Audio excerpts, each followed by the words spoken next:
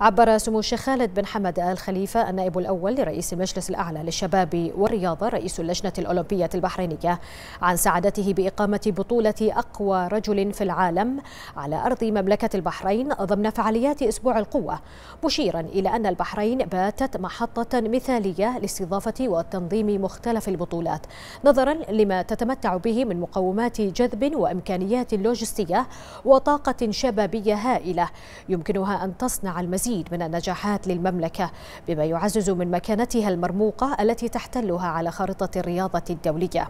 وأشاد سموه بما حققه أسبوع القوة من نجاح وتميز يضاف لسلسلة النجاحات التي حققتها مبادراتنا المختلفة. مؤكدا سموه أن هذا النجاح ما كان ليتحقق لولا دعم جلالة عاهل البلاد المفدى حفظه الله ورعاه نحو مزيد من العطاء والجهد في سبيل تحقيق أهداف هذه المبادرات والتي تخدم مختلف المجالات الحياتية لا سيما المجال الرياضي.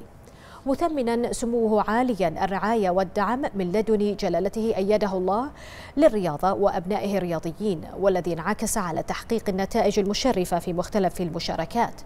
وأشاد سمو الشيخ خالد بن حمد آل خليفة بالجهود المميزة التي يبذلها سمو الشيخ ناصر بن حمد آل خليفة ممثل جلالة الملك للأعمال الإنسانية وشؤون الشباب. رئيس المجلس الأعلى للشباب والرياضة للارتقاء بالحركة الرياضية في البحرين من خلال ترجمة توجيهات العاهل المفدى حفظه الله ورعاه عبر الاستراتيجيات التطويرية التي ساهمت في رفع مستوى الألعاب الرياضية والرياضيين لتقديم المستويات المشرفة من خلال مشاركة الفرق والمنتخبات الوطنية في البطولات القارية والدولية والتي حصدت من خلالها المملكة العديد من الإنجازات التي تضاف لسجل الرياضة البحرينية.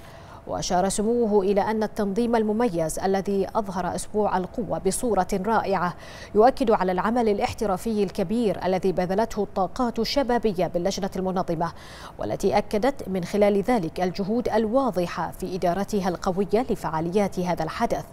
موضحا سموه أن اللجنة المنظمة استطاعت الالتزام بالإجراءات الاحترازية والوقائية لحماية المنظمين والمشاركين من الإصابة بفيروس كورونا كوفيد 19 وهذا ما منح أسبوع القوة التميز وأكمل الصورة الحقيقية للعمل بشكل متقن في جميع الظروف مهنئا سموه الفائزين بالمراكز الأولى في بطولة أقوى رجل في العالم. متمنيا سموه حق حظا أوفر لبقية المشاركين في البطولات القادمة.